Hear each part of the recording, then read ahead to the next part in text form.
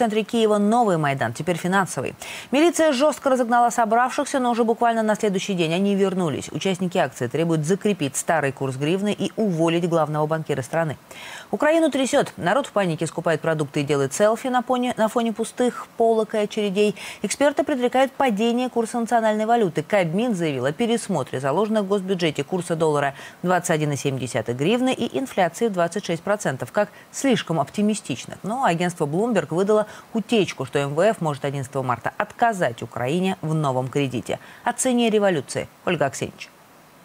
Полки, еще недавно ломившиеся от пачек сахара, пустуют. Муку и крупы на развес выносят мешками. Гривна в крутом пике. Теперь и продукты – выгодное вложение. Смысла нема в гривна денег держать.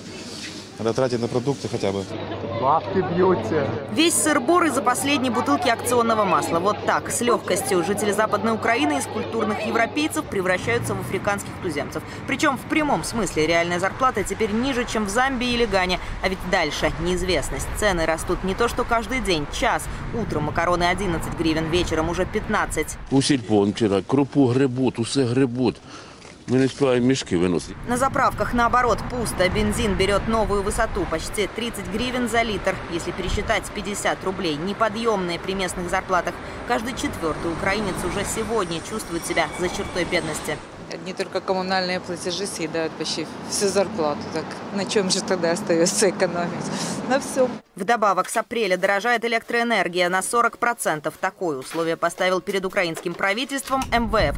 Получается, за кредит, который, по некоторым данным, государство может так и не получить, люди будут платить из собственных карманов. Свое недовольство новым властям высказывает все больше людей. У мэрии собирается около тысячи человек. Этот бессрочный митинг уже окрестили финансовым Майданом. Активисты разливают чай, готовят палатки и вспоминают, как накануне бойцы Нацгвардии и милиция жестоко разгоняли их, безоружных.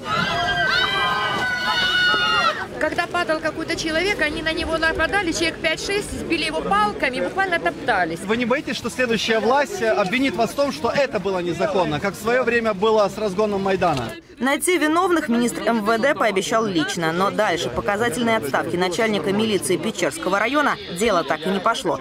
Более того, новые власти, так рьяно клеймившие действия Беркута, сами с насилием завязывать, очевидно, не собираются. На этих кадрах очередные учения милиции в Одесской области. Бойцы готовятся ликвидировать массовые беспорядки.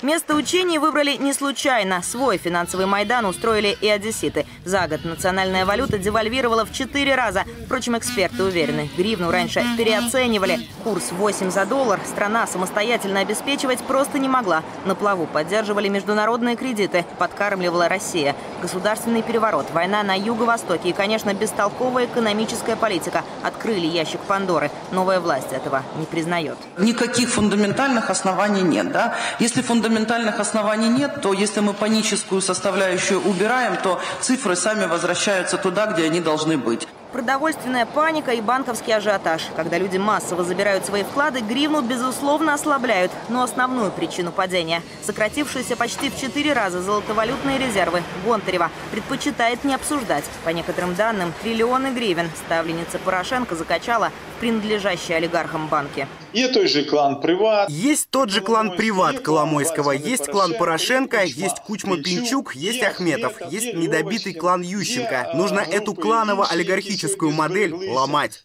Но дальше слов дело не идет, а попытки ручного регулирования экономики проваливаются. Неконтролируемый черный рынок диктует свои условия. Президент Порошенко в падении гривны винит мифических врагов и сохраняет весьма наивный для опытного в прошлом банкира оптимизм. Мы проводим. Мы проводим решительные меры, чтобы выданный дополнительный ресурс вернул гривну на отметку 20-22 за доллар. Встают шахты, разоряются заводы. Армия безработных растет в геометрической прогрессии. Еще в декабре Вера Кулинцова работала на предприятии, обанкротилась. Что делать теперь, женщина не знает. Как только узнают, что я женщина и главный инженер, вот я претендую на должность, я была главным инженером, никому этот главный инженер не нужен. Многие решают уезжать из страны, но Европа, в частности Германия и Польша, все чаще отказывают украинцам в визах. Эксперты уверены, основной поток беженцев хлынет в Россию и Белоруссию. Креативному классу сильно достанется, да, потому что ну, на Украине достаточное количество и дизайнеров, и парикмахеров, и стилистов, и журналистов. С сегодняшней Украины уже уехало около 6 миллионов человек. Осталось 40 миллионов. Если страна рухнет финансовую пропасть, трудно представить, скольким еще придется сняться с места и сколько проблем будет у ближайших соседей этой страны, прежде всего у России. Ольга Аксенич, Татьяна Каминская и Сергей Сенченков в центре событий.